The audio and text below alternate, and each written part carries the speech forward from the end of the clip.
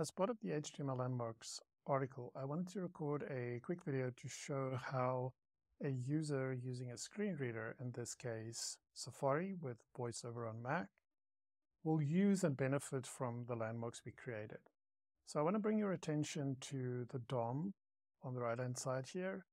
And for a small page like this, you can see how big this DOM already is. And there's quite a lot to traverse through. So while you can tab to some of these elements like the links, there are some sections that you will not be able to just tab to.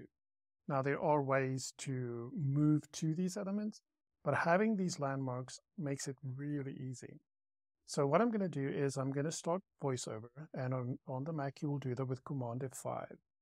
Then, depending on how you've configured VoiceOver, you will use something like Control Option U to open what is known as the rotor. Now, one of the panels that opens in the rotor is for landmarks. And so I will show you how you can then navigate through them and jump to a specific section. Before I do that, I want to note one thing, and that is you will see that the form with our newsletter subscription is not going to show up. Now, even though Apple does say here that VoiceOver supports all landmarks, you will notice that it talks about banner, complementary, content info, main, navigation, and search, but it doesn't mention the form landmark. So while it says it supports all landmarks, that one is missing. And interestingly here, search, but of course this is when we're using role search. So don't confuse that with the new element that will eventually automatically and implicitly map to, to this landmark. But, you know, for now it is using the role. I just wanted to make that clear. So if you don't see that form showing up in the landmarks menu, that this is why. Okay, so let's do a short demo. VoiceOver on Safari, Mr. Pineapple's Pizzeria window, less than form action equals slash subscribe aria, label B equals newsletter subscribe form heading Mr. Pineapple's Pizzeria, web content. You are currently on web content. To enter headings menu. Here we can see all our headings. And you can see why it's important to have descriptive headings. Form controls menu. So these are our form controls. Landmarks menu. Here's our landmarks. And you can see our banner, our main site navigation. And now we can see that it would probably be good to actually just say main site, because then we'll say main site navigation.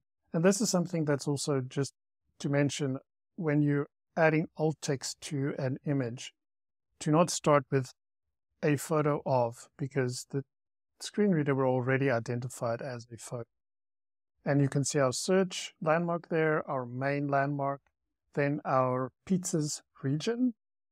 This is the section that we have turned into a region by associating a heading element with it.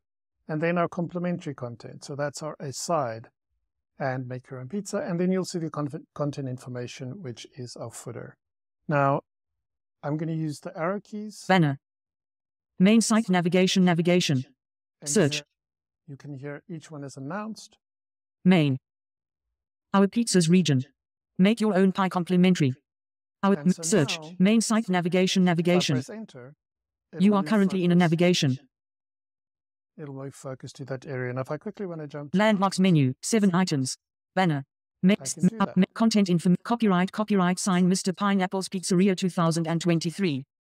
You are So- currently on a text element. So here you can see how quickly it is for a screen reader user to jump between these different sections. Now imagine how useful that would be on a page like, say, for example, on MDN Web Docs, where there's a lot of content. It can be so much easier to jump to exactly the section that you want. I hope you found this video useful and the article that accompanies it, and I'll speak to you soon.